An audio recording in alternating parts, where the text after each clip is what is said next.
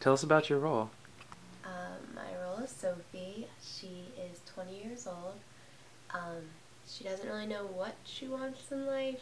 20 in architecture. It's not that cool.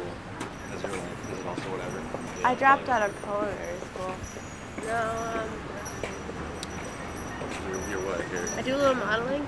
A little modeling, huh? But anyway, she met this great guy and um, last Christmas, and well, things will turn out, so you'll have to watch the video.